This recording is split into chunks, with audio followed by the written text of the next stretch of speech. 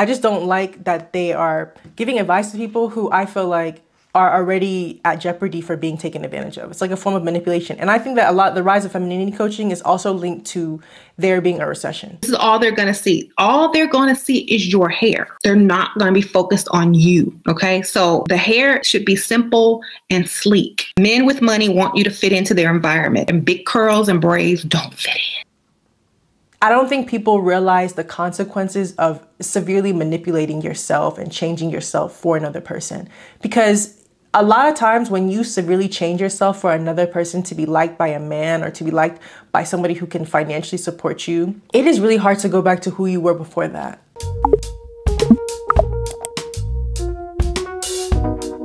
Sometimes it don't make no sense. Does it really have to? Hi, welcome to Mayowa's World. Hi y'all, welcome to Mayowa's World. My name is Mayowa, and on my platform I like to talk about colorism, texturism, featureism. Today we are going to be talking about texturism and why a lot of femininity coaches hate natural hair.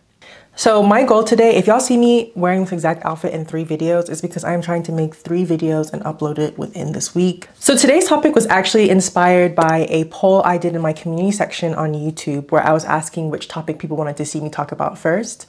And I'm so happy, like, I'm trying to engage more in the community section because it actually helps me with ideas. So if you have any ideas that you would like for me to talk about, please leave it in the comments and I'll try and get to it. A lot of femininity coaches claim to be helping women become more feminine.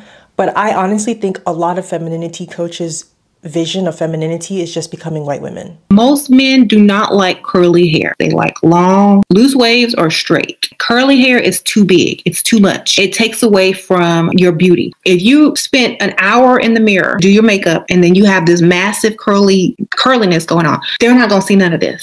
So, a little background is that our natural hair is masculinized by mainstream society.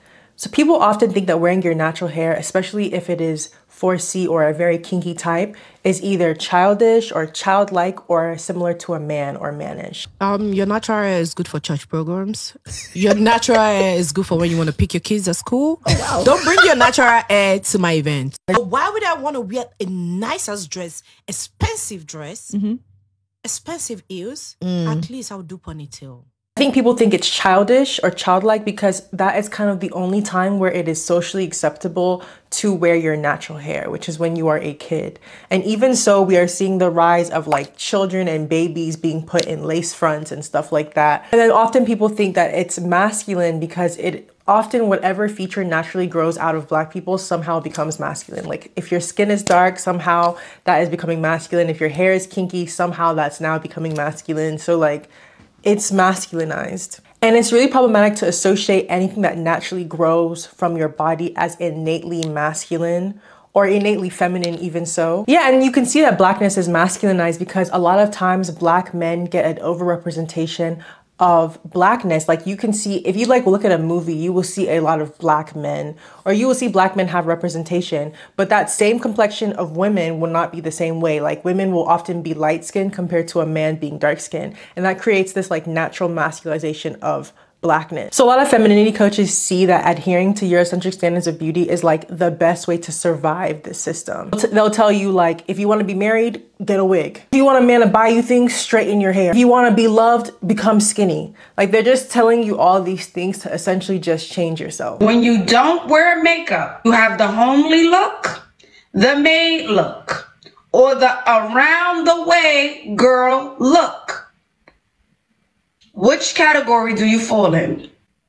I think a lot of femininity coaches take advantage of the insecurities that a lot of black women have um, because our femininity is constantly in question due to the society that we live in. And take, for example, whenever black women wear long nails, we were demonized for it and it was called ghetto and it was called classless. And then whenever black women wear their natural hair, it was considered masculine. But then when they wore a weave, it was considered too um, superficial and it looked fake and it was like horsehair. And then when they wore a perm, um, it was like, oh, your hair is too thin. So it's like every single time that black women have tried to like exert femininity, it's been like made fun of, a mockery of, which is why so many like comedians enjoy dressing up as black women to make a mockery of it and to kind of liken it to being a man in a dress, you know, or a man. A lot of femininity coaches benefit off of you being the exception, like you existing and being so different than the rest of them that you get picked, right? Because the goal is that if you work so hard, you can be different.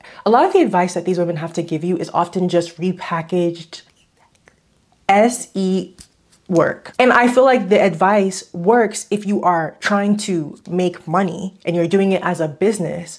But I feel like if you're someone who's actually desiring love or to feel seen or to feel accepted, that kind of advice literally is the antithesis of that because ultimately the the foundation of femininity coaching a lot of times is to get you to completely change yourself so much in validation of someone else. And the reason that that is the foundation is because you can make the most money from people when they feel insecure about who they are or when they need advice outside of who they are as a person. I would never eat a plate that looked like this. You couldn't even pay me a million dollars to do that to myself. Oh my God. I deserve better than that. That's low vibration. Yeah, because there's a lot of people that just let people give them what they want them to have, mm. and they accept it. Mm. And Storm is teaching me right now. Yeah, yeah. Coach Stormy is teaching me don't accept what they put on your.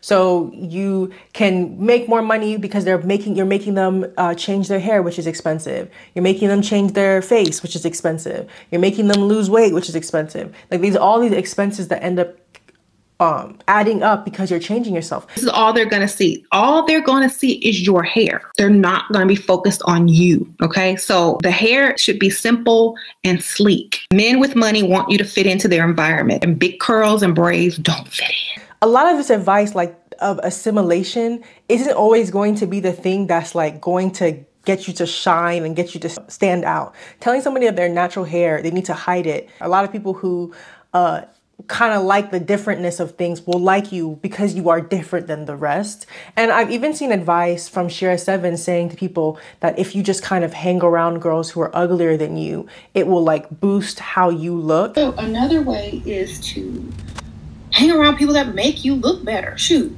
there's no other confidence builder than to hang around people that are not on your level. okay. And it's like you are training people to be the ultimate meanest girls ever just to be able to chase a man. Like it's an ultimate form of pick meism. And I think a lot of these like femininity coaches started in response to the Kevin Samuels and in response to the podcast bros who are incredibly misogynistic. And then it went into a really extreme side of like, you know, use men for the money. And I'm not against like that concept, but I feel like you have to be honest with the kind of person you are, right? If you are someone who wants to marry for love, if you are somebody who wants to be cared for through all the stages of your life as you get older, you want somebody who really sees you for the worth that you have to give, chasing someone specifically for money may not be the best thing for you. But if you know that is not what you want, you specifically only want money, you don't care about what they do for work, you don't care about how they treat you. You don't care about if they're gonna leave you for somebody younger in like 10 years. If you don't care about that stuff, then I think the advice, you know what I mean? The advice works. But then at that time, that's that is getting into the territory of like it's it's a money, it's a, a partnership around money. That's a different kind of thing. And you gotta be you gotta be built differently to be able to be someone who's specifically only chasing the money, right? Like also too, I feel like when I speak about how I don't like the works of Shera Seven and other femininity coaches, people think I'm trying to say that you need to be with somebody who's completely broke and doesn't take care of you. I'm saying if you center care at the foundation of your love with someone, somebody who's caring for you. And if caring for you means helping you financially, helping you mentally, helping you physically, that is all within the concept of care. Care does not mean uh, not being able to provide. Like care also means being able to provide, but that is not exclusive to very, very wealthy people. A lot of y'all, like, and it's funny to me because a lot of these very, very wealthy people work in industries that's actively to the detriment of your own people. A lot of them will work in like fracking industries, We'll be doing things in oil that's like mad colonial. We'll be doing things in like, uh, what is it? Uh, buying up, uh, gentrifying areas and stuff like this, buying up land. And to d- date these people, you are also co signing these people. So, like, if you're going to be in these arrangements where money is at the root of your love, just know that, like, you are aligning with people. Another thing I don't like, another thing I don't like about femininity coaching is that they make spending time with someone that you don't like seem like it's not work. If you are doing SE work and you're spending time with someone who you wouldn't want to normally spend time with, but because there's money, you're spending time with them, that is a form of work. So making it seem like this form of femininity is, you know, I would rather not work and do that and stay at home and did, you are actually always working at least if you're clocking in doing this kind of work, you have a time that you finish and you go to bed and you lay and you do your own thing. But you're actually constantly now in it. You're performing every single day of your life. And I don't think that's a worth a lot. Personally, like I feel like that's really intense. One thing I've noticed within femininity discourse is this idea of work and like what's considered work. And it's interesting because fighting for political gains is considered masculine and hard work, but somehow negotiating a man to give you an allowance is also a form of hard work. It's just different kinds of work. Personally, if I had to braid my hair down, wear a wig, wear heels, force myself into an uncomfortable dress, and sit by a bar to wait for a man to have a conversation that I don't really want to have, personally, I find that very hard work. And I feel like a lot of these movements are in response to labor expected on Black women. But I think you can reserve yourself and still be politically aware and pace which issues you want to advocate for. Because a lot of these coaches think that knowing about oppression or understanding oppressive struggles or systems is a form of of, of work and labor when actually every form of existing under capitalism is going to be work and labor. It's just what you want to opt into and what you want to opt out of. Like, I wouldn't want to wake up to someone who I don't want to be with every single day consistently. I feel like you can make a lot of money just doing that as an actual business than to do that as like a deep thing for love. But I feel like a lot of these women are actually just selling this dream because they need money. And it's funny because they end up working teaching people so it's not even like they get to do the job of like not working. They're still working. Um, they're just selling your insecurities back to you to make them money. And then hoping that maybe you'll do the same thing. Because they chase you to be, you have to be the exception to be able to fit into this dynamic. And as somebody who's really tried to do these kind of, I've tried in my younger years to do the sprinkle sprinkle stuff. Sprinkle sprinkle is real and all until you get into a situation where you actually need support, like you need help. Like something bad has happened and you can't really go to the police because you're going to the police against somebody who has a lot of money, a lot of power. So then what do you do? Do you know what I mean? Like what are some like actual practical things you do if you're in situations where you need help because you've got to get out of the situation, but you don't have enough money to stand on your own two feet because this person is supporting you for money. These are these are all the situations that I'm like, there's a lot of holes in it. I know I can see through it, and like I just don't like that they are giving advice to people who I feel like are already at jeopardy for being taken advantage of. It's like a form of manipulation, and I think that a lot the rise of femininity coaching is also linked to there being a recession. Like you will see femininity. I saw a femininity coach course. I didn't even know there was like an online course that you can take. But it's like if your femininity includes like telling people to change themselves and doing more work to not be themselves, like I'm so sorry, it's just not feminine. It's just not. It's just not. You're just. It seems with a lot of femininity coaches, being picked to be married seems like the highest form of womanhood and femininity. And I find it funny because it doesn't seem like their form of femininity can exist outside of the di- desires of men. So then my question is if femininity is in response to men, is it actually real? Personally, I don't like to think in the binaries of femininity and masculinity because if I need to be coached to be feminine, I don't really think I subscribe to femininity if it's so innate and inside of me, why does it take so many courses, lessons, and changing of myself to be able to reach it? I think a lot of people who are femininity coaches see themselves as being able to beautify your way out of oppression. And, you know, people like to have this conversation around how like different hairstyles attract different people. And I agree that it's true. Like when I had a weave, different people approached me to when I had freeform locks or when I had my natural afro or when my hair was shorter. Da, da, da. Like all that stuff is very true. But does that mean that you should completely change what you like to attract someone? Like, I don't think people realize the consequences of severely manipulating yourself and changing yourself for another person.